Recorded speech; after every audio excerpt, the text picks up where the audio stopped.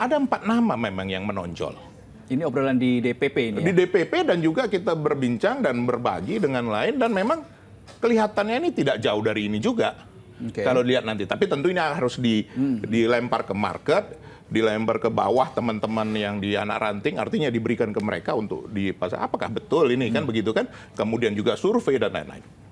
Nah yang pertama adalah Ibu Tri Risma hari ini. Oke. Wali Kota Surabaya berhasil menurunkan eh, panasnya Kota Surabaya, apa namanya suhu dari kurang lebih satu setengah sampai dua derajat itu tinggi loh, mengurangi itu itu luar biasa.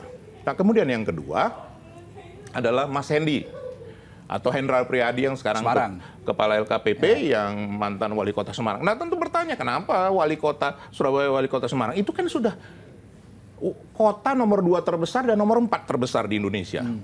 Nah yang ketiga adalah Mas Andika. Beliau Panglima TNI sudah pernah memimpin tentara, memimpin TNI yang berapa banyak itu ya? Banyak lah. Oh banyak lah. Iya, iya, iya, Ya iya. walaupun tidak sebanyak penduduk DKI kan begitu kan. Tapi itu Iya, sudah mempunyai dasar yang kuat. Nah yang keempat, ini menarik nih. Ada juga yang menyampaikan Ahok